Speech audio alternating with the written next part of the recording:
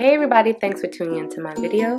And this video is going to be about one of my favorite places in New York, the Brooklyn Museum. And as you can see, they're dedicating it um, to Frida Kahlo. This is Target's first Saturdays that they have every month um, in the summers. Actually, it's springtime now, but they have it all the way through the summers, Target first Saturdays. And they have great shows, free events for everybody to enjoy. So basically, this is just going to be a video about my experience at the Target first Saturdays experience at the Brooklyn Museum. Tchau!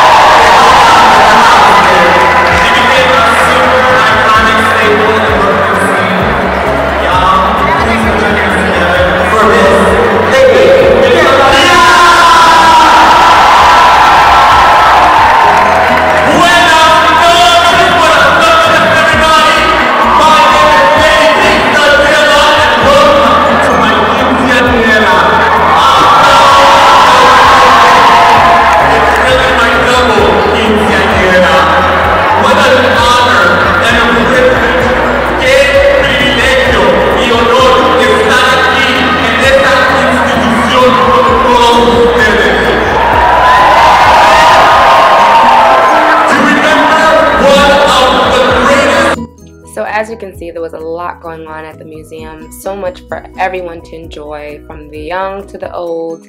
Children were there dancing, just really enjoying themselves. It's an awesome museum. If you haven't had the chance to go there and experience it yet, I highly, highly, highly recommend it please take a look at the Brooklyn Museum or check out Target's First Saturdays. It's every Saturday, the first Saturday of every month. It's for free. They have tons of things for people to enjoy. It's a, it's, it's kind of crowded, yes, so do get there at a decent time, but you're definitely going to enjoy yourselves. Bring your kids, bring your friends, bring your family.